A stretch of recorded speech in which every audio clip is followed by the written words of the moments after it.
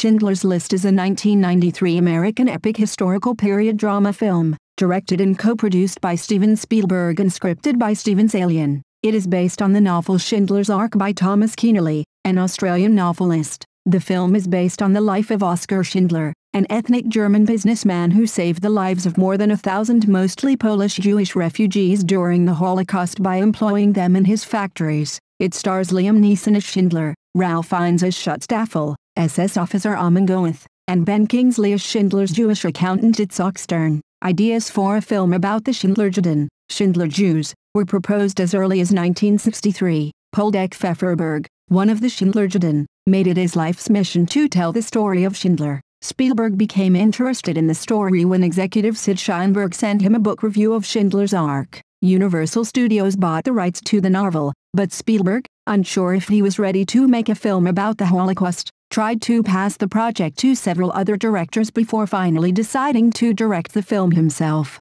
Principal photography took place in Krakow, Poland, over the course of 72 days in 1993. Spielberg shot the film in black and white and approached it as a documentary. Cinematographer Janusz Kaminski wanted to give the film a sense of timelessness. Schindler's List premiered on November 30, 1993, in Washington, D.C. and it was released on December 15, 1993, in the United States, often listed among the greatest films ever made. It was also a box office success, earning $321.2 million worldwide on a $22 million budget. It was the recipient of seven Academy Awards, out of 12 nominations, including Best Picture, Best Director, Best Adapted Screenplay, and Best Original Score, as well as numerous other awards, including seven BAFTAs and three Golden Globes. In 2007, the American Film Institute ranked the film eighth on its list of the 100 best American films of all time. The Library of Congress selected it for preservation in the National Film Registry in 2004.